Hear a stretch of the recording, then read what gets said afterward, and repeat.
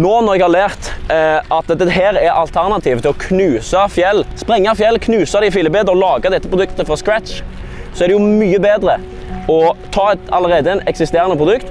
og gjenvinne det og lage dette her, som holder samme kvalitet. For meg så er det helt sprøtt at ikke flere gjør det her, og det her er ikke praksis overalt.